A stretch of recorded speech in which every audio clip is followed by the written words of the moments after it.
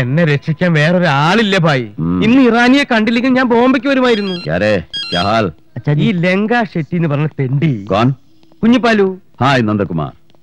What? Lanka Shetty. ആര് പറഞ്ഞു? ഞാൻ പറഞ്ഞു. നൈ ഞാൻ ജഗൻ ഭായിയോട് പറഞ്ഞ് എല്ലാം ക്ലിയർ ചെയ്തതാണ്. സബ് കുച്ച് സെറ്റിൽ സെറ്റിൽഡ് ആയിട്ടില്ല. ഞാൻ Madras. Anyway I'm coming. Okay okay.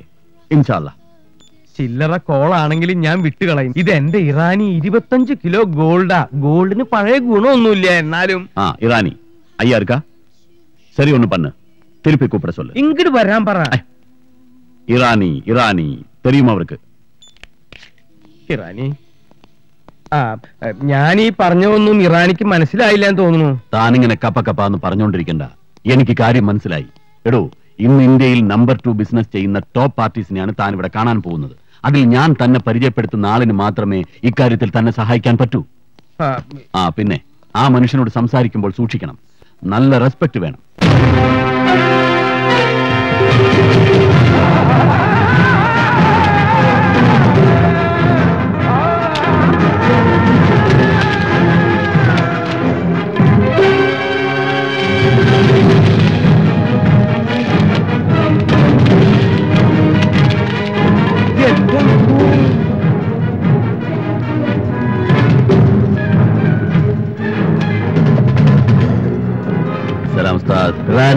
कैसे है बेटा fine happy very good Parameswaran Parameswara അല്ല ഇത് എന്ത് വേഷം ആളാകെ മാറിയില്ലോ എപ്പ എത്തി മദ്രാസില് പറഞ്ഞില്ലല്ലോ അല്ലെങ്കിൽ ഏയ്. നമുക്ക് ഒരുമിച്ച് ഫ്ലൈറ്റ് कौन വരാമായിരുന്നു है वो ഈ മംഗോളിയൻ മുഖമുള്ള കുള്ളൻ കുഞ്ഞിപ്പാലു സ്വർണ്ണ കച്ചവടക്കാരൻ കുഞ്ഞിപ്പാലു എടോ ഏത് പരമേശ്വരൻ തന്നോട് ഞാൻ പറഞ്ഞതല്ലേ സംസാരിക്കുമ്പോൾ സൂക്ഷിക്കണം നല്ല റെസ്പെക്ട് വേണമെന്നൊക്കെ ഓടോ സോറി ഉസ്താദ് ഗോൾഡ് ബിസിനസ് ചെയ്യുന്ന ഒരു കിഴങ്ങന സോറി എന്റെ നാട്ടിൽ ഇതുപോലെ ഒരാളുണ്ട്. അയാളാണെന്ന് കരുതി പറ്റിയതാ. പുള്ളി വൈറ്റ് ആൻഡ് വൈറ്റാ നല്ല ആളാ ഡീസന്റാ എന്താ പേര് പറഞ്ഞേ? ഉസ്താദ്. ഉസ്താദെ അയാൾ കുഞ്ഞിപ്പാലു.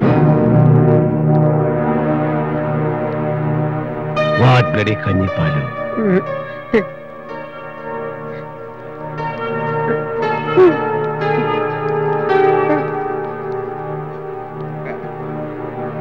ഉസ്താദ്.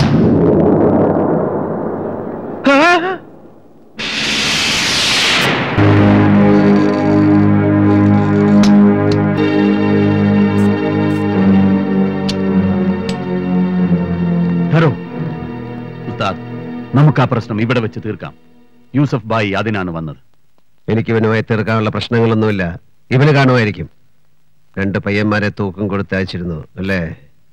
നമുക്ക് അങ്ങനെ തീർക്കണമെങ്കിൽ അങ്ങനെ തീർക്കാം.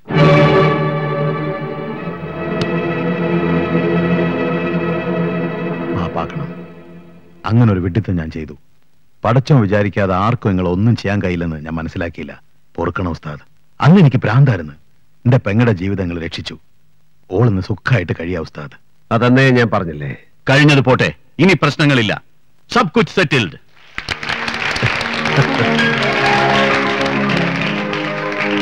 എന്റെ ഒരു പ്രശ്നം കൂടി ഒന്ന് സെറ്റ് ചെയ്തു തരണം ഭായിമാരെ. എന്തായതാണ് ഈ കിഴങ്ങന്റെ പ്രശ്നം?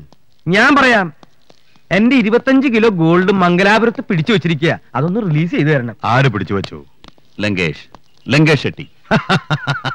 ഉസ്താദ് ലങ്കേഷ് ഷെട്ടി ആരാന്നറിയോ? ഇവന്റെ ആളാണ്. ഹലോ. അതൊന്ന് ഡീൽ ചെയ്യൂ യൂസഫ്. ഷുവർ ഞാൻ എന്ത് വേണമെങ്കിലും തരാം. ഫീസ് ഞാൻ വാങ്ങും. പക്ഷെ ഇതിനില്ല. കാരണം എന്റെ ഉസ്താദ് ഞാൻ കോംപ്രമൈസ് ആയ ദിവസമാണിന്ന്. So this is free service okay Yusuf. ഞാൻ പോകുന്നു. ഈ രാത്രി തീർക്കേണ്ട കുറെ ജോലികളുണ്ട്. ഒരു സത്യം പറഞ്ഞിട്ട് പോവോ? രണ്ടും ഒന്നല്ലേ? അതും ഇതും ഒന്നല്ലേ? ഇതും അതും ഒന്നല്ലേ? അതും ഇതും ഒന്നല്ലേ? കോളിയോടന്മാരുടെ ഡോക്യുമെന്റ് അത് വിട്ടു. വിട്ടുകൊടുത്തു.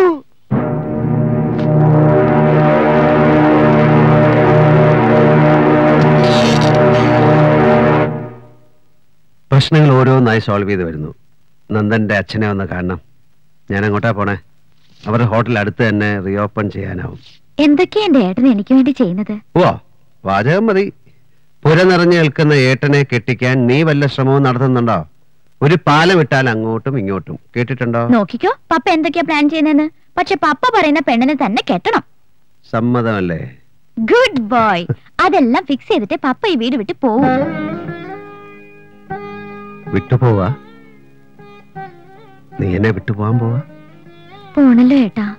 പോയിട്ട് വരാനാണെങ്കിലും പോയല്ലേ പറ്റൂ. ചിലപ്പോ തോന്നും നീ നീ വലുതാവണ്ടായിരുന്നു.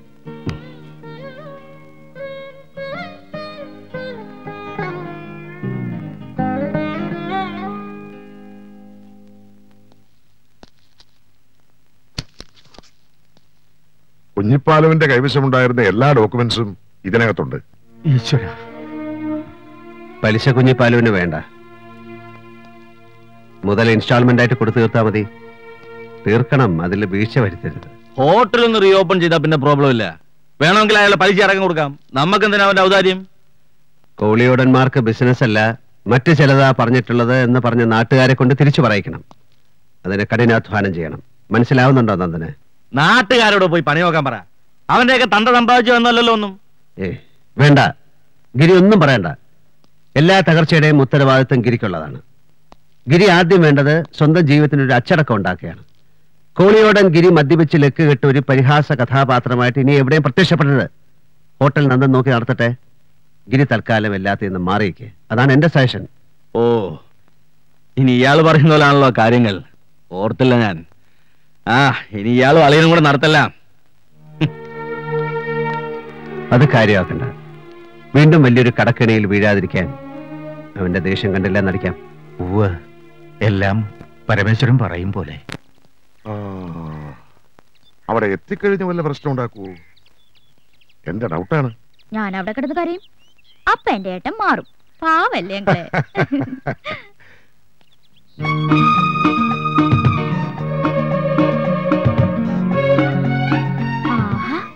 എന്തൊരു സ്റ്റൈൽ? എന്നും ഇങ്ങനെ നടന്നൂടെ എന്റെ ഏട്ടന്? നീ എന്നെ കൊണ്ട് കോലം കെട്ടിക്കാണ് മഹാവൃത്തിയാണ് അലിയപ്പൂ വണ്ടി എടുക്ക്. എല്ലാം പറഞ്ഞു അയ്യോ നോ ഐഡിയ. ചോദിച്ചിട്ട് പറയുന്നില്ല. അല്ലാതെ എങ്ങോട്ടാ സർ? പപ്പ ആലിയപ്പ ചോദിക്കുന്നില്ലേ നമ്മൾ എങ്ങോട്ടാ പോകുന്നത് ബുദ്ധി. അലിയപ്പൂന് ലെഫ്റ്റും റൈറ്റും അറിയാലോ? ഇടത്തും വലത്തും അല്ലേ? ആ എന്നാ കയറിക്കോളൂ ബാക്കി ഞാൻ പറഞ്ഞോളാം. നിനക്ക് പോകേണ്ട വഴിയിലെ ഡീറ്റെയിൽഡ് റൂട്ട് മാപ്പ് ഇല്ലാതെ ഈ വണ്ടി എടുക്കില്ലേ? ഇത് ചില ഓട്ടോറിക്ഷക്കാരെ സവാരിക്ക് വിളിച്ച പോലാണ് നീ ആരാ? ഹിമാലയൻ കാർ റാലിക്ക് പോകുന്ന റേസിംഗ് ചാമ്പ്യനോ ഫിനിഷിംഗ് പോയിന്റ് റൂട്ടും ചോദിക്കാൻ. കാർ എടുക്കടാ കാർ. കാർ എടുക്കടാ കാർ. വരും മോളെ വരും. കാണാതായപ്പോ സ്വാമിയെ ഞാൻ അങ്ങോട്ട് വിളിക്കാനിരിക്കായിരുന്നു സ്വാമി ആലിയപ്പ അകത്തേക്ക് ചെല്ലി റൂട്ട് മാപ്പും ഫിനിഷിംഗ് പോയിന്റും ഒക്കെ പിടികിട്ടും. വരുന്നില്ലേ? വരുന്നു. പ്ലീസ് വരൂ വരൂ. ഇരിക്കൂ. സ്വാമി പറഞ്ഞതിലും കുറച്ച് ലേറ്റ് ആയി. സ്വാമി രാഹുകാലമൊക്കെ നോക്കുന്നുണ്ടാവും. ഇന്ന് ഉച്ച കഴിഞ്ഞല്ലേ രാഹുകാലം? ഞാൻ നിയമകണ്ഠ കാലമാണ് ആ നോക്കുക അങ്ങനെയും ചിലരുണ്ട്. ഈ തമിഴ്നാട്ടിലെ ചില ജ്യോത്സ്യന്മാർ പറയണത് രാഹുകാലം തന്നെ നോക്കേണ്ട കാര്യമില്ലെന്നാ. എവിടെ നമ്മുടെ കക്ഷി? ഡ്രസ്സിംഗ് ടേബിളിന്റെ മുന്നിൽ തപസിരിക്കുക. ചെന്ന് നോക്കട്ടെ. ഞങ്ങൾ നാല് പേരാ ക്ഷമിക്ക അമ്മമാരായിട്ട് എന്താ? അല്ല രണ്ടുപേരെങ്കിൽ സ്റ്റേഴ്സിലാ. ഈ നാല് പേർക്കും പെൺകുട്ടികളേ ഇല്ല. അപ്പൊ പിന്നെ ഊഹിക്കാലോ അവളുടെ വിവാഹം എന്ന് പറഞ്ഞാൽ ഞങ്ങൾക്ക് ദൃഷ്ടി തന്നെയാവും. പരമേശ്വരനെ കുറിച്ച് ആദ്യം കേട്ട പോലെ തന്നെ കാഴ്ചയിലും എനിക്കങ്ങ് ബോധിച്ചു. അപ്പൊ പിന്നെ അധികം നീട്ടി? അല്ല അധികം നീട്ടിക്കൊണ്ട് പോകാതെ ഡേറ്റ് ഉറപ്പിക്കണം. അല്ലേ സ്വാമി? അത്ര പെട്ടെന്ന് നടക്കുമെന്ന് തോന്നുന്നില്ല. അതെന്താ?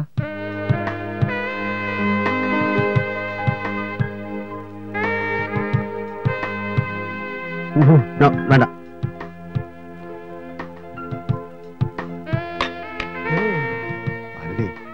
അവർക്ക് എന്തെങ്കിലും സംസാരിക്കാൻ ആയിക്കോട്ടെ? അല്ലേ സ്വാമി? അതിനെന്താ അവല്ലോ അതിവിടെ വെച്ച് വേണ്ട. അല്ലേ ഏട്ടാ? അതെ അത് ഇവിടെ വെച്ച് വേണ്ട. ഇവിടെ ആവുമ്പോ ഏട്ടൻ ഫ്രീ ആവില്ല. നമുക്ക് പോകാം പപ്പ. എന്നാ പിന്നെ ഒരു നല്ല അസ്ട്രോളജറെ കാണണം. ഡേറ്റ് നോക്കണം.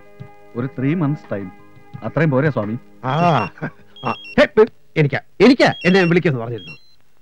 ഹലോ എവിടെ? എന്താ? അയ്യോ അയ്യോ സ്വാമി ഇത് ഞാനാ ഡോക്ടർ കോശി. വയറുവേദന എങ്ങനെയുണ്ട് വേദന കൊണ്ട് പൊളയുകയാണെന്നോ? കൺസ്ട്രക്ഷൻ സൈറ്റിൽ നമ്മുടെ ആക്സിഡന്റ് എന്നിട്ട്? പൊളയുകയാണെന്നോ? അല്ല തന്റെ ശബ്ദത്തിന് എന്ത് പറ്റി? ആ പൊളയുകയാണെങ്കിൽ ഇങ്ങോട്ട് പാടോ എത്ര പേർക്കാണ് തന്റെ അശ്രദ്ധ കൊണ്ട് അപകടം പറ്റിയെന്ന് നോക്കണം മിസ്റ്റർ. എന്റെ അശ്രദ്ധ കൊണ്ടോ? പോക്കരുത്തരം പറയരുത്. വയറിളകി ചാവാൻ കിടക്കുന്നവൻ ബിരിയാണിയെ കഴിക്കൂന്ന് വാശി പിടിക്കരുത്. ആ ബിരിയാണി പാക്കേജ് പാക്ക് ചെയ്യൂ മെഡിസിൻസ് വിതരണം ചെയ്യൂ. ഞാൻ ഇതായി കഴിഞ്ഞു ഇയാൾക്ക് വട്ടാണോ? വയറിളകി ഭ്രാന്തായി ആദ്യത്തെ കേസാ ഓക്കെ ഞങ്ങളുടെ ഒരു കൺസ്ട്രക്ഷൻ നടക്കുന്നുണ്ട് ഇവിടെ. അവിടെ ഭയങ്കര ആക്സിഡന്റ് എനിക്ക് ഇപ്പൊ പോണം. സോറി പപ്പ വാ അയ്യോ കാപ്പി കാപ്പിയൊക്കെ പിന്നെ. അല്ല നമ്മളൊന്നും ഫിക്സ് ചെയ്തില്ലല്ലോ സ്വാമി. എന്ത് ചെയ്യാനാ? കൺസ്ട്രക്ഷൻ മുഴുവൻ പൊളിച്ച് വീടില്ലേ? ഈശ്വര അതെ അപ്പൊ എടുക്കണ കാറ്. ഓക്കെ. നീ താൻ ഇങ്ങോട്ട് വന്നു. താൻ ഇവിടെ നിൽക്കേ എന്നിട്ട് ആ പെണ്ണോട് പറയാൻ എനിക്ക് അവളെ ഇഷ്ടമായിട്ടില്ലെന്ന്. മനുഷ്യനെ ചതിച്ച് കല്യാണം കഴിപ്പിക്കാൻ നോക്കുന്നു ചുപ്രം പട്ടരെ. ഞാൻ എങ്ങനെ പറയും? മലയാളത്തിൽ തന്റെ തിരുവാതിർന്ന് പറയണോ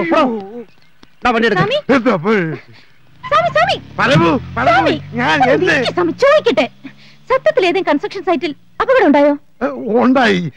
ഇല്ല പക്ഷേ പിന്നെ എന്താ പുള്ളി അവസാനം പറഞ്ഞിട്ട് പോയെ? അത് കുട്ടിയെ? കുട്ടിയെ ഇഷ്ടമായില്ല എന്ന് പറയാൻ പറഞ്ഞു. ഓഹോ. ഇഷ്ടമായില്ല അല്ലേ?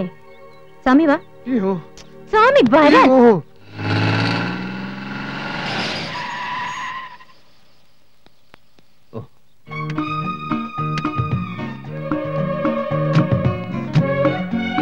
എന്താ എന്താ?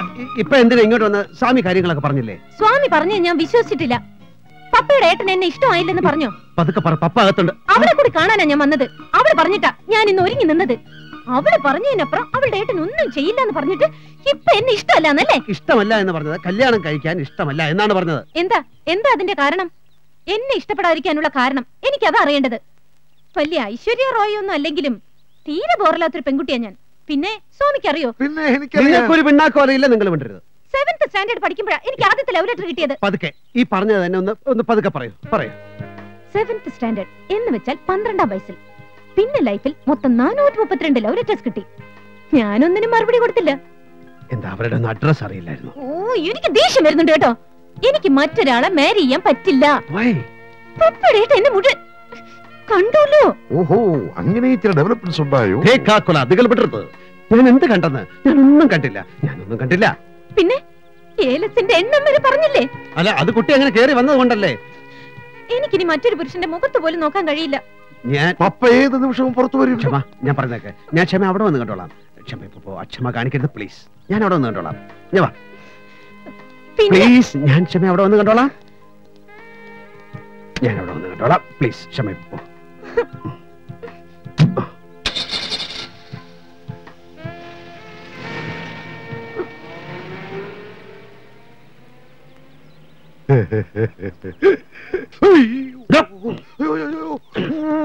അയ്യോ. അയ്യോ, അയ്യോ, അയ്യോ. തന്നെ സ്വാമി ഒന്നും അറിഞ്ഞിട്ടില്ലേ സ്വാമി ഒന്നും അറിഞ്ഞിട്ടില്ലേ